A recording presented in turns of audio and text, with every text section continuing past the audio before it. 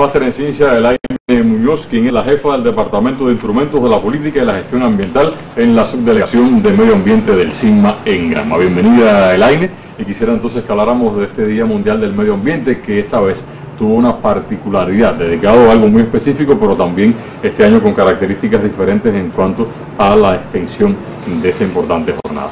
Bueno, Alain, buenas tardes para ti y para eh, todos los televidentes de nuestra provincia.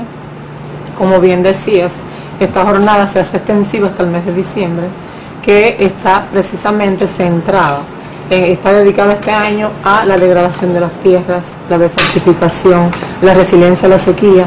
Entonces estamos inmersos en una serie de actividades que se han venido desarrollando desde el mes de enero hasta el momento, pero que van a seguir eh, hasta, el, fin de año. porque porque eh, aparte de que eh, la sequía es algo, es un evento extremo, algo que nos debe de preocupar a todos, porque a veces las personas pensamos que si caen tres o cuatro aguaceros, como dice uno vulgarmente, es, suficiente. es suficiente y no, porque si no tenemos, por ejemplo, eventos meteorológicos eh, donde hay huracanes pluviosos, no se ahorre el agua, existan problemas de contaminación, no se siembren árboles, estamos propensos a que ocurra este proceso natural, pero que se agote el agua que es algo, exactamente, es un recurso tan importante para los, para, la, para los asentamientos humanos, pero sobre todo para la parte agroalimentaria e industrial.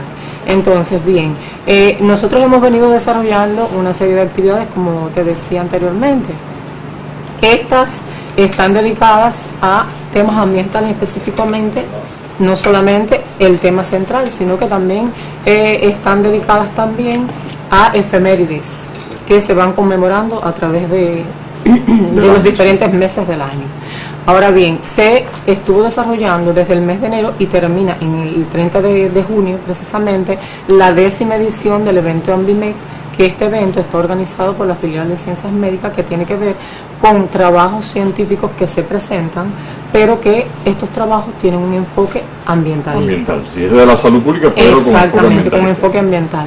También se han desarrollado saneamientos en litorales costeros, por ejemplo, de los municipios Campechuela, Niquero, en el Parque Nacional Desembarco del Granma, que está ubicado en Niquero, que es un área protegido, que es patrimonio de la humanidad, se eh, realizaron eh, exposiciones de círculo de interés dedicados específicamente al cuidado y protección del medio ambiente. la zona de Cabo Cruz. Exactamente. En el Parque Agroecológico Roselena Simeón Negrini, en homenaje a, nuestra ministra del Sigma, sí, se realizaron eh, concursos, premiaciones de concursos precisamente el día 5 de junio, pero también se hizo un festival dedicado a las mascotas, para que los niños eh, eh, comiencen a sentir ese amor hacia los animales y que vean la necesidad de la protección hacia ellos.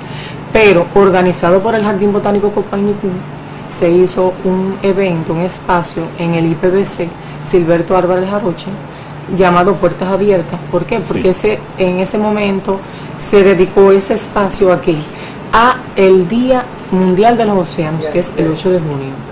Que ya pasó. Eh, que ya pasó. Es decir, que todas estas actividades se han venido desarrollando. Se realizó también por parte de, organizado por la Delegación Territorial del CIMA, de conjunto con recursos hidráulicos, con la Dirección Provincial de Suelo, la Dirección Provincial de Educación. Se realizó la conferencia de prensa precisamente el 28 de mayo en salud a esta fecha que ya, que ya pasó, pero bueno, eh, seguimos inmersos en la jornada. Ahora bien, quería referirme a otra actividad muy importante que vamos a estarla desarrollando la próxima semana. En saludo al 17 de junio, que es el Día Mundial contra la Desertificación y la Sequía. Vamos a estar desarrollando que esto fue organizado por la empresa agroforestal Gramo y la Delegación Territorial del CIMA y lo vamos a hacer de conjunto con la Dirección Municipal de Educación en Bayamo, la Facultad de Cultura Física, los miembros de las brigadas técnicas juveniles también de la provincia. Vamos a estar desarrollando labores de reforestación, labores de reforestación en el área del el vivero sí, el que pertenece a la, a, la, a la, unidad silvícola, de Bayamo, allá en el aeropuerto Bien. Lo vamos a estar desarrollando la, la próxima semana. ¿Por qué estamos desarrollando esto? Porque tenemos que tener claro que cada segundo hay un área que se degrada, que esta área es equivalente más o menos a cuatro campos de fútbol. Es bastante. Y esto suma 100 millones de hectáreas cada año. Entonces, ¿qué tenemos que hacer? Todo este tipo de acciones para revertir todos estos procesos que nos están afectando, todos los factores que pueden impulsar que sucedan estos fenómenos, los tenemos que frenar. ¿Y cómo los frenamos? Haciendo todo este tipo de actividades, deforestaciones, ahorrando el agua, evitando la contaminación.